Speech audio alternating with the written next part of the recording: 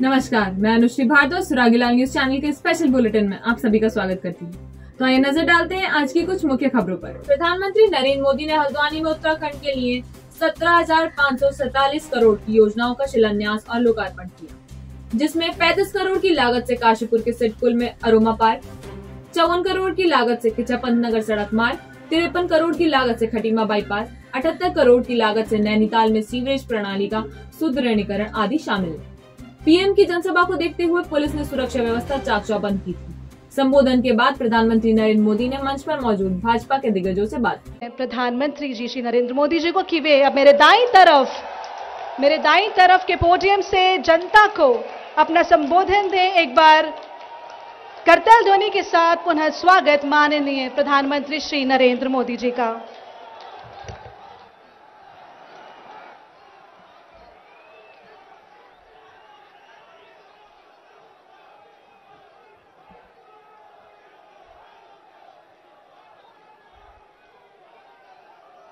हल्द्वानी वालों के लिए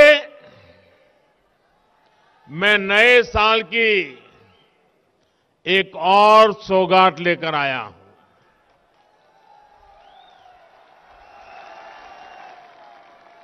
हल्द्वानी शहर के ओवरऑल इंफ्रास्ट्रक्चर के लिए, विकास के लिए हम लगभग 2000 करोड़ रुपए की योजना लेकर आ रहे हैं। देहरादून उद्योग व्यापार मंडल की आम सभा में कैमिस्ट एसोसिएशन ने ऑनलाइन व्यापार के विरोध में 31 दिसंबर को महाबंद की घोषणा की है। जीएसटी की दरें 1 जनवरी से बढ़ाने के खिलाफ कल रैली निकालकर धरना भी देंगे। संवाददाता विनय सूट की रिपोर्ट। ये समस्त केमिस्ट, होलसेल व्यापारी, आयुर्वेदिक व्यापारी, होम्योपैथिक व्यापारी, जिस तरीके से मल्टीनेशनल कंपनियों के द्वारा अभी तक ऑनलाइन के साथ साथ अब स्टोर खोलकर भी कस्टमरों को माल बेचना शुरू किया जा रहा है और अनैतिक व्यापार वहाँ पर किया जा रहा है। इसके खिलाफ विरोध के तौर पर कल देहरादून की सभी केमिस्ट की दुकानें बंद रहेंगी और वहाँ पर एक विरोध प्रदर्शन जीएमएस रोड के ऊपर किया। किसान नेता राकेश टिकैत ने काशीपुर के जसपुर बस अड्डे पर गुलाब सिंह के गुलाब अमृतसरी छोला कुलचा रेस्टोरेंट का उद्घाटन करने के अवसर पर पत्रकारों से वार्ता करते हुए कहा कि उत्तराखंड के पर्वतीय क्षेत्र से युवाओं के पलायन का मुख्य कारण रोज़गार के अवसर नहीं होना है। किसान आंदोलन के दौरान राज्य सरकार ने बॉर्डर सील किए जिसका खामियाजा किसानों को भुगतना पड़ रहा है।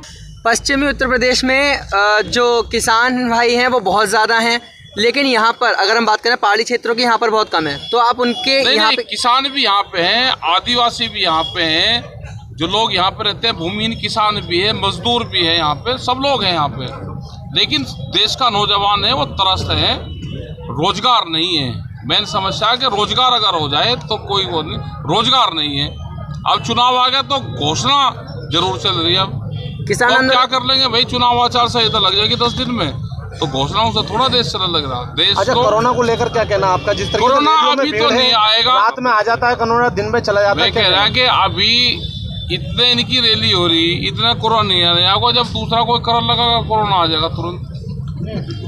और ग्यारह सर पाँच बजे लोग को कोरोना का अब रह रात के अंधेरे में दिन में।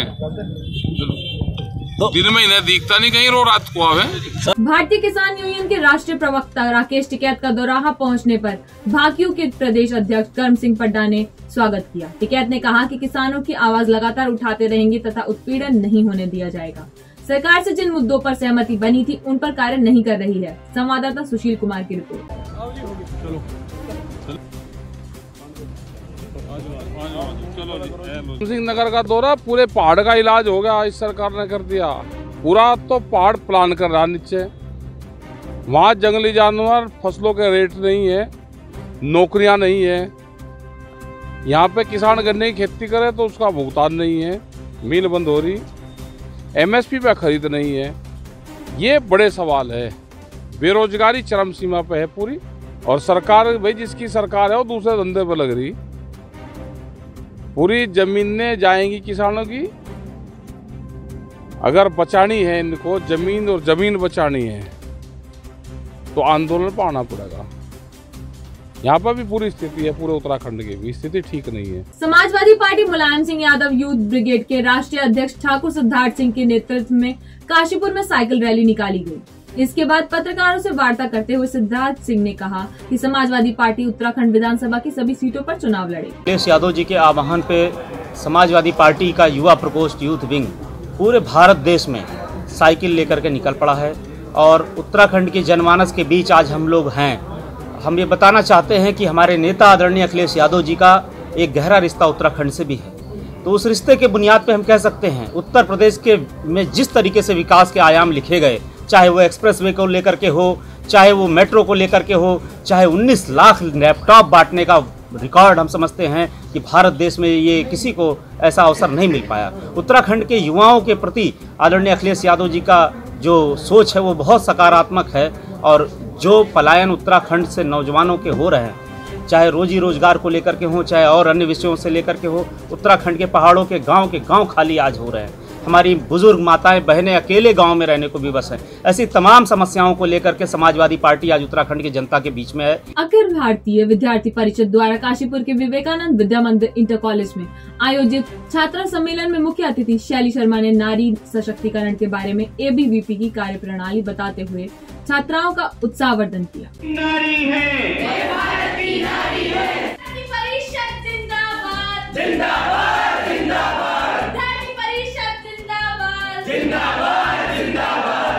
रामनगर महाविद्यालय में आयोजित विज्ञान प्रचार प्रसार कार्यशाला में वैज्ञानिक डॉक्टर दीपक शर्मा ने सोलर घड़ी बनाना, पृथ्वी से सूर्य की दूरी नापना आदि सिखाया। साथ ही छात्रों को खेल खेल में विज्ञान की शिक्षा पर ज़ोर दिया। संवाददाता कैलाश सोयल की रिपोर्ट। आज जो खास ट्रेनिंग है, वो दो बड़े प्रयोग थे।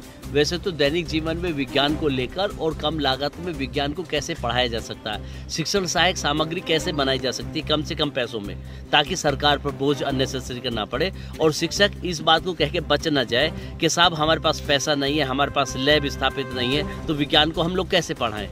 तो इसके लिए कम लागत पर और जो दैनिक जीवन में आसपास का जो वेस्ट सामान है, उस सामान का उपयोग करते हुए हम किस तरह से विज्ञान के सिद्धांतों को प्रैक्टिकली और आसानी से वर्किंग मॉडल में बनाते हुए समझा सकते हैं। तो सबसे बेहतरीन तरीका तो यही था, लेकिन आज तीसरे दिन इस कार्यशाला में हम लोगों ने क्या काम किया कि दो बड़े प्रयोग किए। पहला, पृथ्वी की परिधि नापने का, और दूसरा एनालेमा सन डायल बनाने का। और ये एशिया की सिक्सटी नाइन्थवी यानी कि उनहत्तरवीं सौर घड़ी हम लोगों ने बनाई है। पूर्व कैबिनेट मंत्री विनय रुहेला ने बताया कि जसपुर के सौंदर्यकरण के लिए नगर पालिका के प्रस्ताव पर आर्मी टैंक ठाकुर द्वारा बस अड्डे पर लगाया जाना था। ये शहीदों के प्रति सम्मान का सूचक भी है, लेकिन विधायक के विरोध के कारण नहीं लग सका और राजनीति की भेंट चढ़ गया। संवाददाता दीपक चौहान की रिपोर्ट।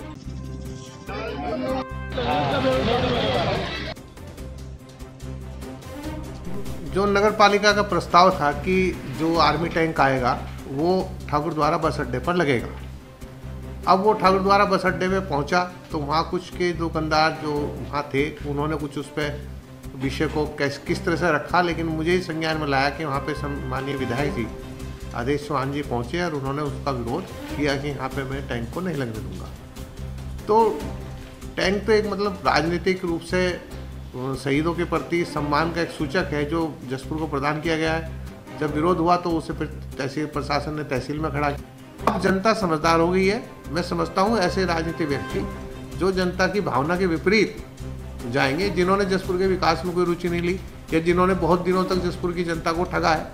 लगातार 25 साल से लोग आसपास के क्षेत्र जितने विकसित हुए, आज विकसित नहीं हो रहे। तो उसके पीछे एक सोच है राजनीतिक व्यक्तियों की विकास नहीं करना चाहते। उत्तराखंड कांग्रेस के कार्यकारी अध्यक्ष भुवन कापड़ी ने बताया कि युवा नेता अरविंद कुमार बसपा छोड़कर कांग्रेस में शामिल हो गए हैं। युवा नेता के आने से भाजपा की जन विरोधी नीतियों से लड़ने की कांग्रेस को ताकत मिलेगी। संवाददाता गुरदीप सिंह की रिपोर्ट।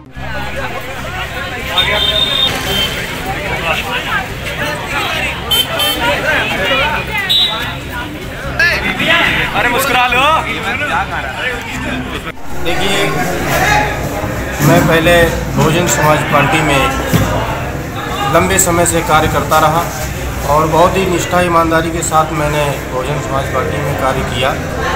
लेकिन कुछ बाहरी प्रभारियों को यहाँ जिम्मेदारियाँ सौंपी गई थी जो हमारे संग कार्य कर रहे थे।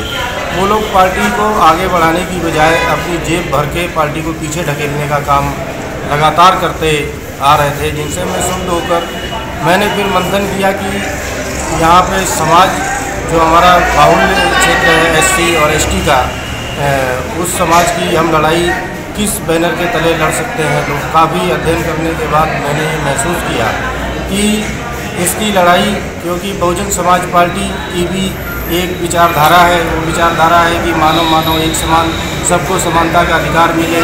और उन्हीं चीज़ों को देखते हुए मैंने एक चीज़ परखा कि, इन चीज़ों की अगर पूर्ति की जा सकती है तो वो कांग्रेस पार्टी में जाकर के की जा सकती है। इसलिए मैंने कांग्रेस पार्टी की सदस्यता ग्रहण की। देखिए, अरविंद कुमार जी, हमारे क्षेत्र के एक युवा नेता है, जिनके आमजन में बहुत अच्छी पकड़ है और जिला पंचायत के सदस्य हैं, जिला पंचायत संगठन के प्रदेश के उपाध्यक्ष हैं और इससे पहले बसपा के प्रदेश प्रभारी रहे हैं, उधम बसपा के जिला अध्यक्ष रहे हैं। तो अरविंद जी अरविंद जी बहुत अच्छे से जानते हैं जागरूक युवा नेता है कि आज ज़रूरत है इस भारतीय जनता पार्टी की जो जन विरोधी नीतियाँ हैं, जो आज किसान परेशान है, जो आज युवा परेशान है, जो आज आम जन परेशान है, महँगाई जो है बेतासा आसमान छू रही है, एक आम आदमी का चूल्हा चल पाना वो बहुत मुश्किल हो गया है। तो इस घड़ी में सबसे पहले हमें इन महँगाई से, बेरोजगारी से और किसानों के हकों को दिलाने के लिए। महँगाई, बेरोजगारी से निजात दिलाने के लिए ज़रूरी है कि कांग्रेस पार्टी का प्रदेश में आना, देश में आना, इसलिए अरविंद भाई ने बहुत सोच समझकर आज कांग्रेस पार्टी का दामन थामा है। खटीमा ब्लॉक में आयोजित प्रशिक्षण कार्यक्रम में bank of Baroda R C Pantnagar के कोऑर्डिनेटर सुरेश विश्वकर्मा ने बताया कि मनरेगा श्रमिकों को स्वरोजगार से जोड़ने तथा पलायन रोकने के बारे में प्रशिक्षित किया जा रहा है।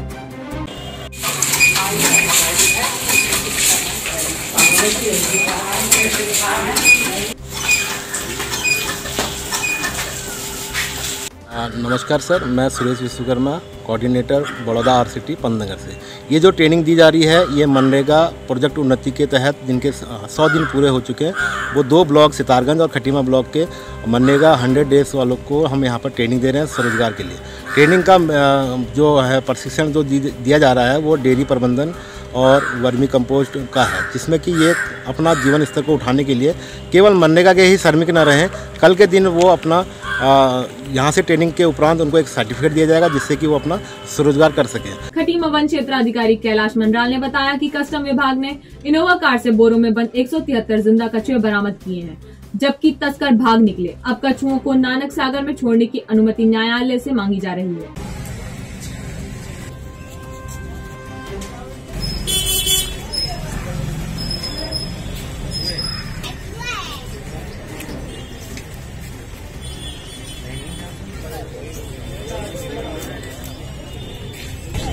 कस्टम विभाग के द्वारा मुझे जो है दूरभाष पर जो बताया गया कि कुछ कछुए जो है, इनोवा कार में जो है पकड़े गए हैं। हीरे रेंज कार्यालय में मय कछुए, एक और इनोवा कार को लेके आए, जिसको हमने अपने सुबर्दी में लिया। तत्काल जब और तत्काल हम लोगों द्वारा जो है स्टूडेंट जारी कर जो है, अग्रिम कार्रवाई की गई है। और माननीय न्यायालय खटीमा में मेरे स्टाफ द्वारा जो है, इसको जो है, आज क्या नाम उसको जो प्रस्तुत किया जा रहा है वहाँ पे जिसको और जो एक सौ तिहत्तर कछुए ज़िंदा हैं उनको माननीय न्यायालय द्वारा परमिशन ली जा ली जा रही कि इनको जो है छोड़ने के लिए विधानसभा चुनाव में आम आदमी पार्टी से टिकट के दावेदार संजय पांडे ने धारी क्षेत्र में जनसंपर्क कर दिल्ली की तरह उत्तराखंड में विकास के लिए आम आदमी पार्टी को वोट देने की अपील की। संवाददाता प्रदीप कुमार की रिपोर्ट। मेरा जो अपना नहीं लेके यार आप बात करना एक बार। प्रदीप जी अभी प्रभारी के तौर पर मुझे ज़िम्मेदारी दी गई है भीमताल विधानसभा क्षेत्र से। और जैसा कि हम लोग पिछले कई सालों से देखते हुए आ रहे हैं, बीजेपी और कांग्रेस को ही रिपीट करते हुए देखते आ रहे हैं यहाँ से। ये सभी लोग समझ रहे हैं, अगर बीजेपी और कांग्रेस बेहतर काम कर रही होती उत्तराखंड के अंदर तो यहाँ पर आम आदमी पार्टी को आने की ज़रूरत ही महसूस नहीं होती। अच्छा काम बेहतर नहीं कर रही है तो इसलिए आम आदमी पार्टी उत्तराखंड की सत्तर की सत्तर सीटों में इलेक्शन लड़ेगी।